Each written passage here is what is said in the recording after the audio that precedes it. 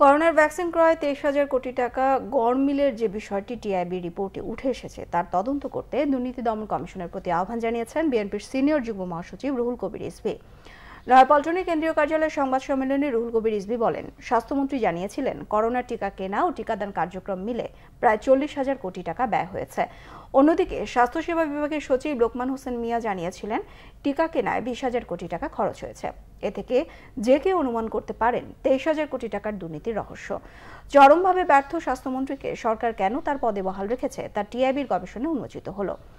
রিজভি বলেন, সরকারের সর্বোচ্চ পর্যায়ের পৃষ্ঠপোষকতায় দুর্নীতি মহামারী আকার ধারণ করেছে।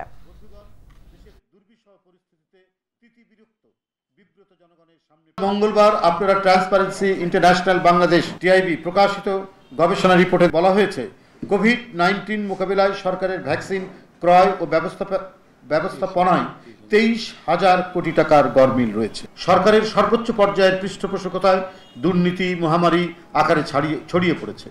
প্রতিটি সেক্টরে পিলে চমকানো বড় বড় দুর্নীতির খবর বেরোলেও আজ পর্যন্ত কোনো দুর্নীতির বিচার হয়নি। দেশের জনগণ এই তেইশ হাজার কোটি টাকা করা কারা লুটপাট করল তার হিসাব চায় বিরোধী দলের নেতাদের হয়রানির জন্য ওট পেতে থাকা দুদককে বলব, তদন্ত করে তেইশ হাজার কোটি টাকার হিসাব বের করুন।